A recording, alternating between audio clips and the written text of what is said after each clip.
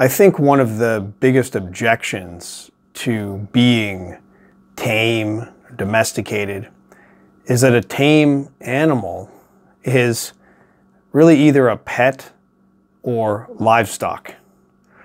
I mean, what else? You're going to be a pet like a cat or a dog, or, you know, kept in a cage like a bird, or, you know, maybe you're going to be livestock like a cow or a pig or a chicken. And uh, that's, that's the life of a tame animal. And who wants to be that? What, I mean, what human would be happy with such a condition?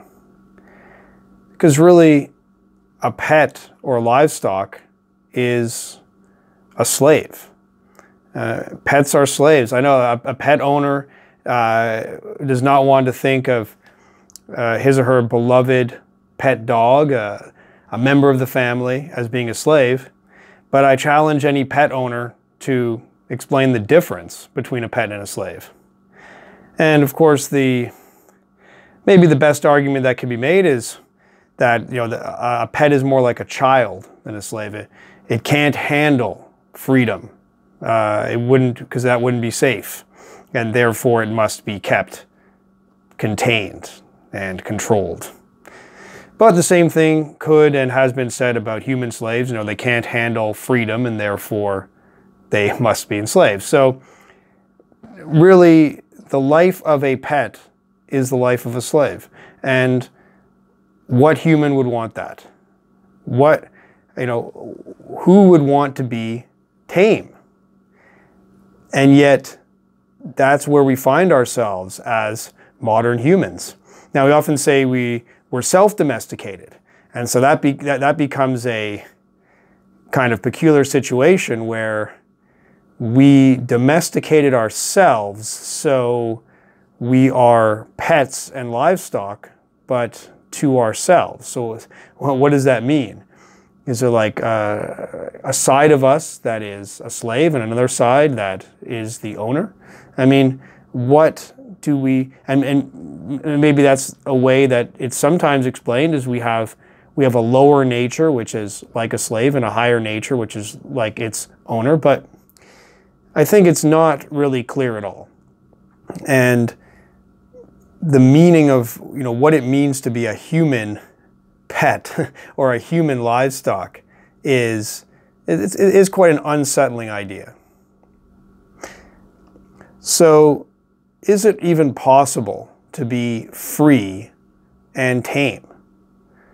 You know, we look at, at, at wild animals and there's a certain kind of respect and admiration that we have for them because there's a certain kind of freedom, I think, that we appreciate. And so there's a part of us, I think, that wants to have that freedom, that wants to have something different than the domesticated state of the modern human. But on the other hand, when we look at the life of anything in the wild, I mean, it's not really, for the most part, not something that we'd prefer.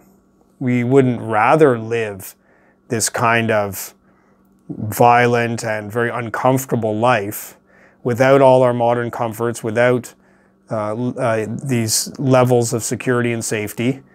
Life is generally not good. I mean, there's we, we have to be very careful not to idealize wild life as if it's some kind of paradise. Uh, so, and in many ways, our tame life is itself a paradise that protects us from many of the worst things in the wild. We have shelters to protect us from the worst weather. We have systems and infrastructure that help us to have regular supply of food. And we have systems of laws that reduce the amount of violence between individuals. So all these things make life better. And yet when I think, am I, am I a pet? Am I livestock? Am I a slave? Is, it, is, this, is this the nature of the modern human? What does it even mean then to be free? What would it be like? What would a wild and free human be like? And I don't know. So I end this series on human domestication with a big question mark. What does it mean? And what can we do about it?